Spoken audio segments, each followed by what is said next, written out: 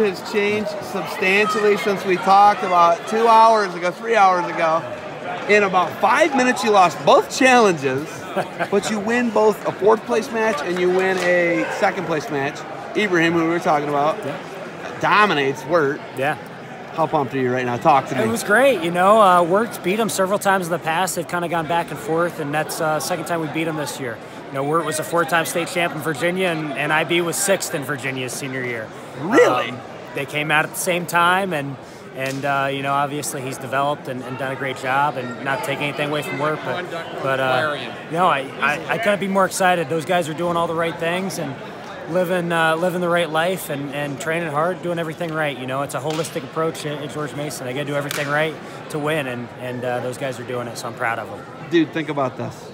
You were like, oh man, we wrestled our best today. You literally, really wrestled your best today. Yes, we the did. proof is in the pudding, right? We did, we did. was two, incredible. Two through and one more, hopefully. That's amazing, Coach. Hey, congratulations. Thank. I'm excited for you. You were like very cautious when we talked to begin with. Now you got a lot to smile and laugh about, Absolutely. man. Congratulations. Thank you.